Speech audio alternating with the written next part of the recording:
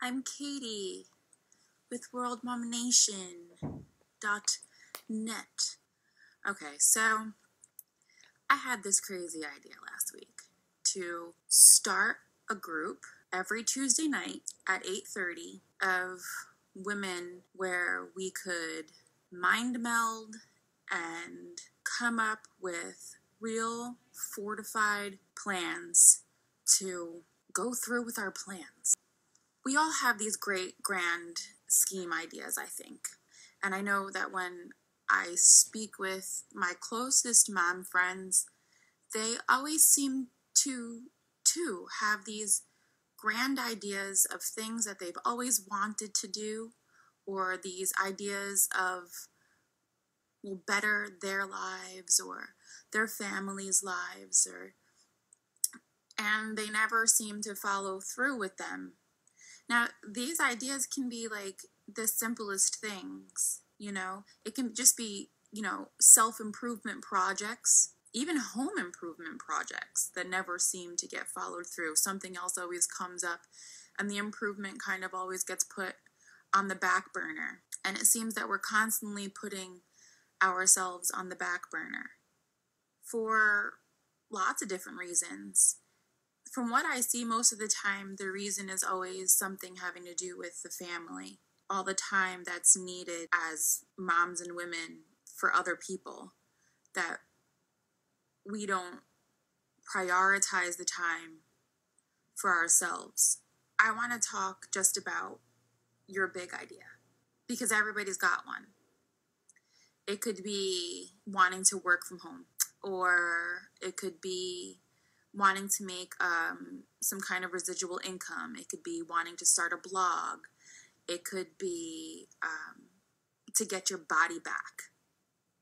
It could be that business idea that you had. It could be selling on Etsy. It could be building a home gym. It can be freaking organizing your linen closet that thing that you've been nagging to do. And you know what I've realized? I really is there's no thing that's been nagging on you that's too big or too small. You know, because okay, so really think about what your big idea is, okay? Because what I wanted to accomplish this week was for us to choose a big idea. Lots of us have many of them. But to choose one. My big idea is to work from home will really work from anywhere and make a residual income by helping women achieve their their best self. And that's my big idea.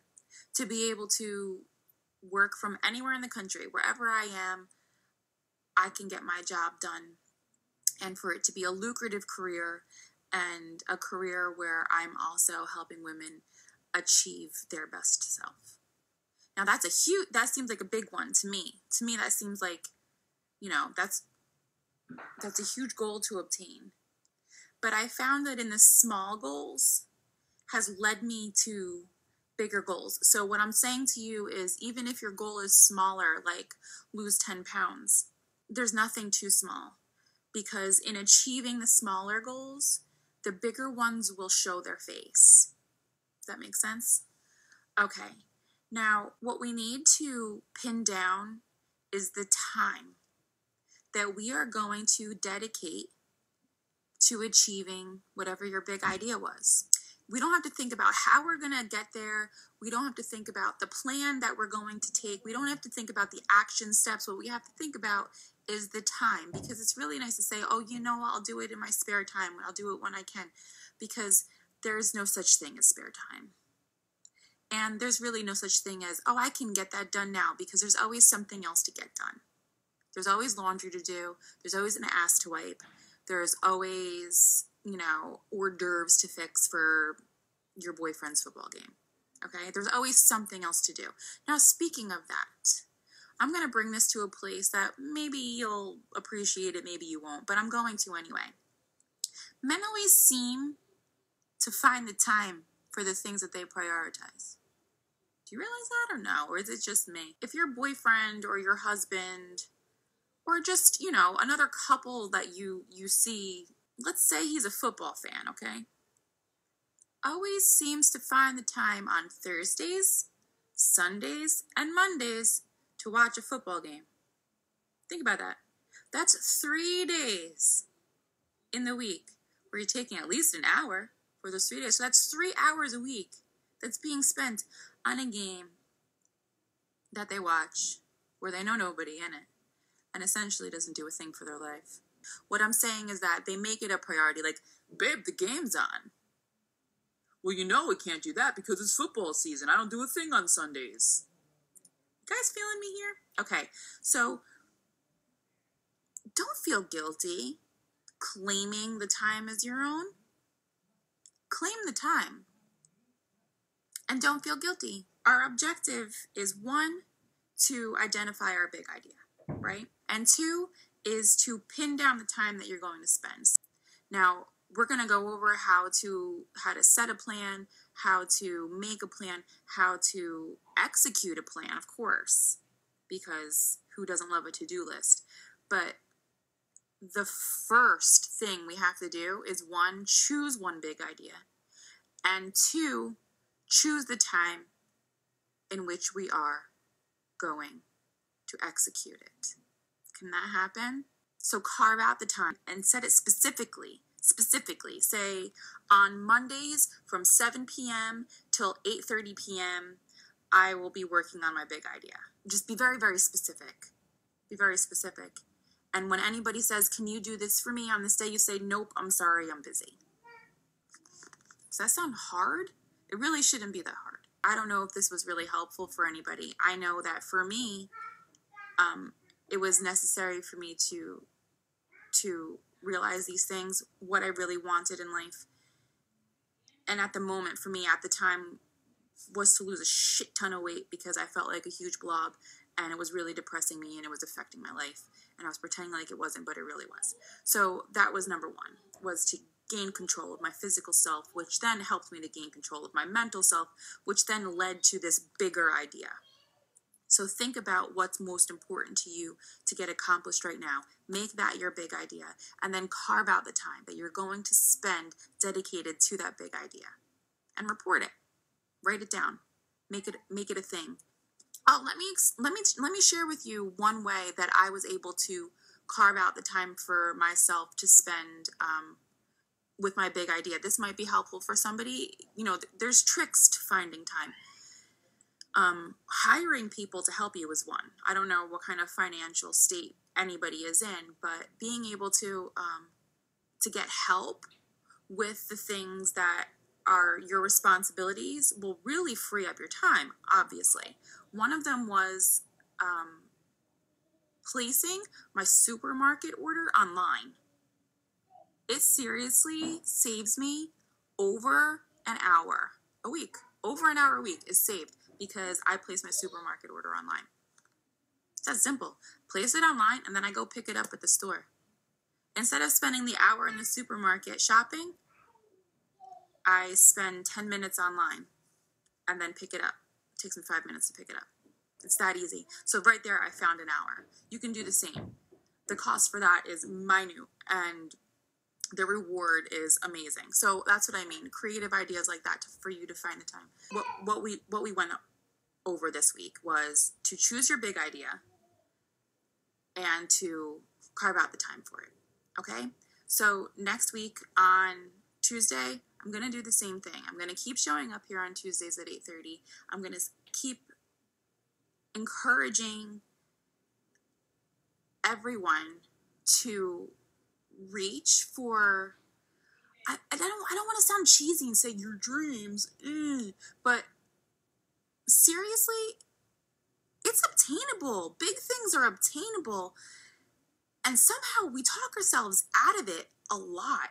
And we talk ourselves out of it by using excuses that the world allows us to use like well you're a mom and you know you're really busy and um, you know, lots lots of times I think that maybe we're comfortable in that role.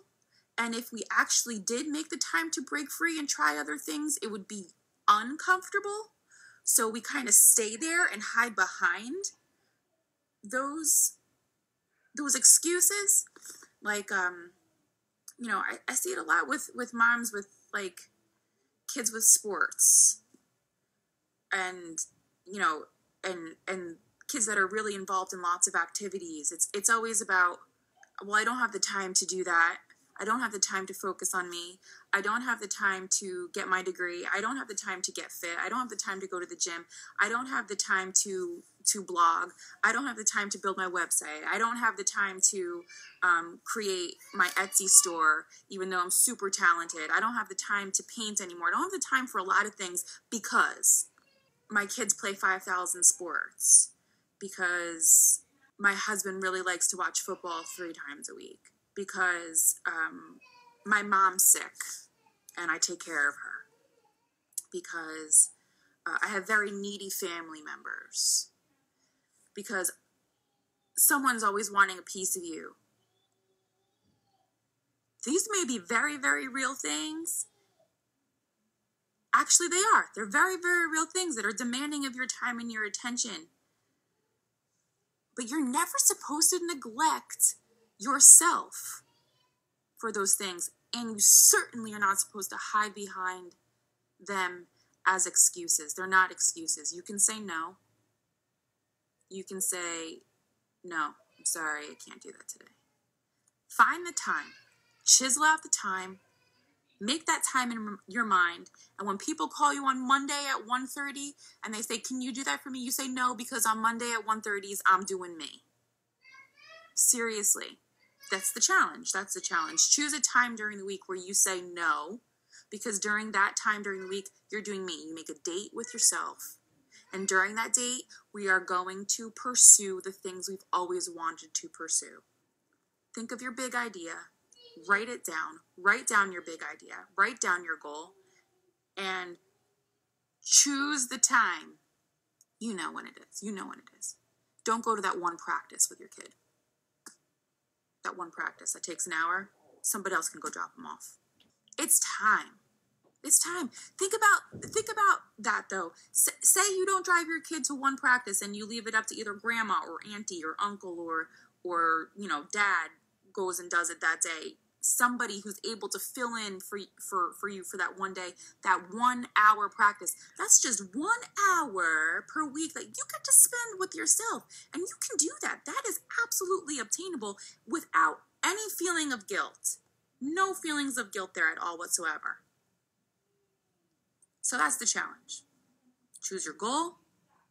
Choose your big idea. Write it down and choose your time one hour in a week where you say, no, that's me time. Okay? So next Tuesday, we're going to come back and we're going to talk about um, something else. I'm not sure. I kind of pray about it and then I um, I just like to be led as to where I should be talking. So um, so I'll see you next Tuesday, guys. Don't don't hesitate to like you know Facebook message me and stuff, and you know tell me I'm nuts or tell me you're cool or say I need help or I can't think of any time, and I'll help you brainstorm. Totally help you brainstorm. And come back next Tuesday, okay? I love you.